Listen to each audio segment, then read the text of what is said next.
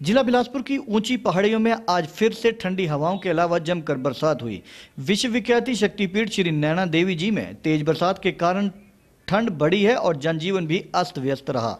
गुप्त नवरात्रों के दौरान भी श्रद्धालु पंजाब, हरियाणा, हिमाचल और दिल्ली से आए हुए थे, जिन्हें ठंड के कारण परेशानी भी झेलनी पड़ी।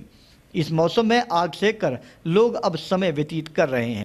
दुकानदारों का कहना है कि ठंड के कारण दुकानदारी भी काफ़ी कम हुई है और उन्हें काफ़ी नुकसान भी झेलना पड़ रहा है। वहीं पूरे क्षेत्र में ठंड के कारण शीतलहर का प्रकोप बढ़ गया है। देवी में भारी तूफ़ान और बारिश के कारण सारी दुकानदारी और व्यवसाय जो भी है सारा ठप हो चुका है। यहाँ पे बहुत तूफ़ान तेज हवाएँ चली हुई हैं बारिश हो रही है जोरों से। तो इससे हर प्रकार से बाधित हो रहा है काम।